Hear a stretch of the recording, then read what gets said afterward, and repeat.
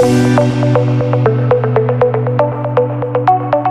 mia storia comincia tanto tempo fa, quando avevo 5 anni quando mi hanno detto che fare l'ingegnere non era un lavoro adatto ad una donna, se si ama questo lavoro il sacrificio passa in secondo piano e quindi ho avuto appunto la possibilità grazie a WeBuild anche di crescere perché ho iniziato a Copenaghen come ingegnere di cantiere, poi sono stata promossa come direttore di cantiere e qui appunto direttore di settore, quindi construction manager. Sulla linea 16 Lotto 2 abbiamo il record del Grand Paris Express avendo appunto 55 donne e anche donne che appunto ricoprono dei ruoli ruoli di responsabilità appunto come direttore di settore, direttore planning, del monitoring, abbiamo responsabili co- dei costi che sono delle donne, responsabili per la qualità, per l'ambiente. Quindi sicuramente è una linea abbastanza femminile, se vogliamo dire così. Io la prendo come una nota più che positiva, diamo un segno forte da questo punto di vista. Il fatto che ci siano tante donne, come dicevo prima, è sicuramente un segnale positivo, ma è sicuramente un segnale positivo anche per il management di questo progetto, che non guarda, a mio avviso, appunto al genere,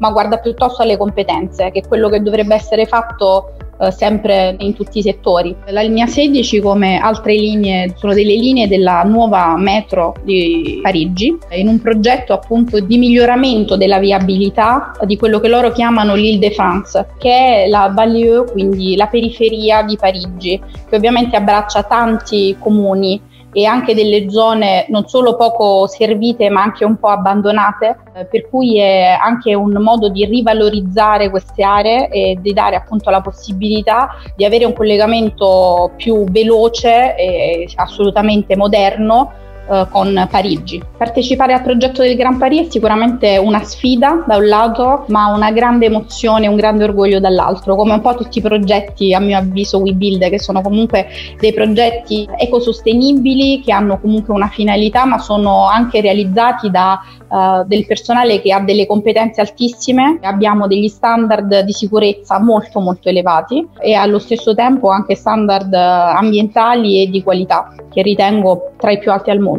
La mia idea di fare l'ingegnere è vedere realizzato ciò che si progetta. Io ho iniziato in Italia prima appunto di decidere di andare all'estero, anche un percorso di progettazione, però il mio sogno era quello di essere in cantiere, quello di vedere appunto realizzate le opere. Dopo Parigi non ho ancora un'idea ben precisa, sono sempre aperta alle nuove sfide. Una parte del mio cuore vorrebbe tanto provare forse a fare il mio lavoro in Italia, dopo quasi dieci anni di estero, mi piacerebbe tanto portare quel po' che ho imparato nel mio percorso nel mio paese. L'Italia per me resta casa e le competenze che noi abbiamo le portiamo nel mondo ed è una sfida, ma sarebbe bello anche farle vedere a casa nostra.